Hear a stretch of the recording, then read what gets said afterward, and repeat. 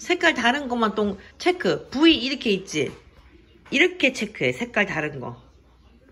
거기 두 번째 페인트 통 있지? 응. 거기 다른 페인트는 맨 첫 번째 건 무슨 컬러야?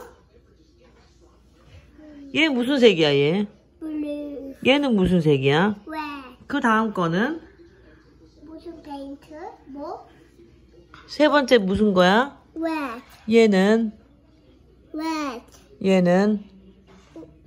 그럼 레드 아닌 거 있어? 음, 왜? 왜도 있어? 아니 레드 아닌 거 있어? 레드 아닌 거? 왜도 아닌 거 있어. 어디 있어? 예. 아니 아니 무슨 왜도? 여기 여기서 응. 여기서 레드 아닌 거 있어? 어. 뭐야? 맞아 걔 체크 동그라미 그렇지 아주 잘했어 그 다음에 포도 포도 색깔 하나 다른 거 있어? 누구야? 걔가 달라?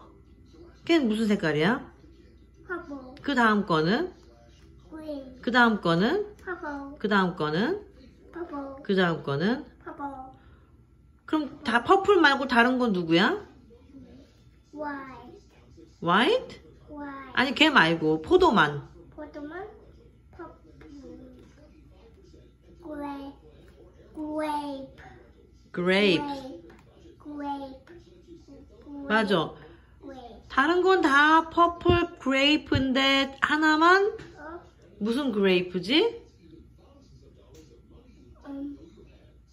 초록. 걔만 동그라미 하면 되겠지? 오.